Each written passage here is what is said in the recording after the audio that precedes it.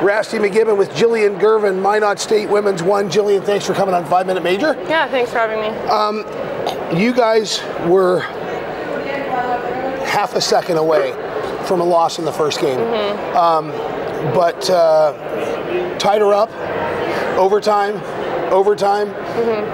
How, how are you guys so successful in overtime?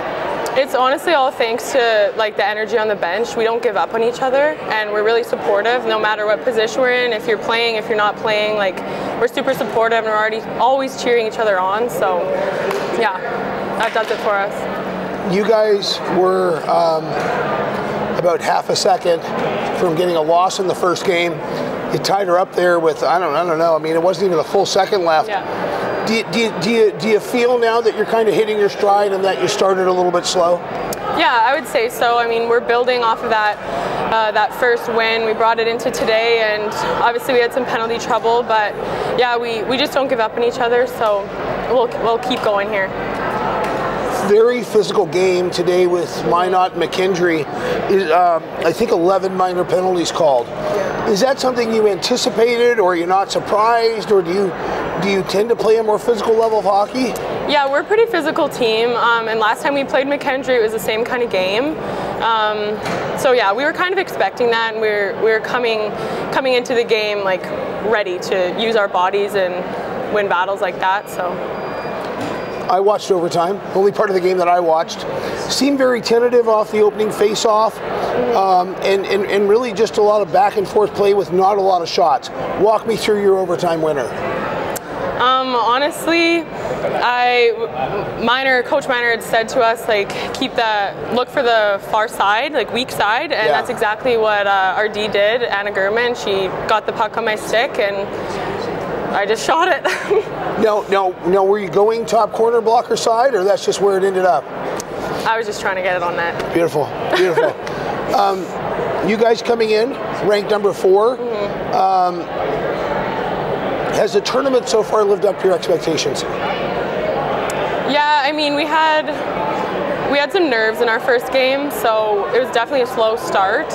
But um, yeah, so far I think so. Like we're working hard. Today was a tough game for us, so coming out with a win, we're happy. When, when you look at women's one, only only ten teams are invited. Do you, do you think that the level of play with those ten is so homogenous that really anybody can win on any given day? Yes, we've talked about that. Like nationals is such a different different game. Like it's anyone's game. Like you have to show up to every game. So When you when you come in ranked three through ten, there is that option of the double loss elimination, mm-hmm. which is you know a semi round robin at the beginning. Mm-hmm. When you know, and yourselves included, you came in a little bit of a slow start, some nerves. Do, do you like that aspect? Because it gives you the opportunity to get in. You can make a mistake, still get going. yeah.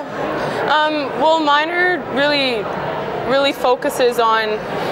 Like he told us today, going into overtime, he said focus on where we are right now. So we try not to even think about that. We're just trying to win one game at a time. And I mean, it's good to have that extra support if you need it, but we just like to focus one game at a time and win. very briefly, young lady from Manitoba. Mm-hmm. When when did you? Were, were there ever any time after high school that you thought that hockey may be over, or did you did you know about the ACHA? Had you heard about Minot? Your, your boyfriend plays at Minot. How, how, how did that transition come about? Um, well, there's a girl that I played with uh, for in midget throughout high school, and I was pretty close with her, Haley Wickham. She came here, and that's when I first uh, heard about Minot.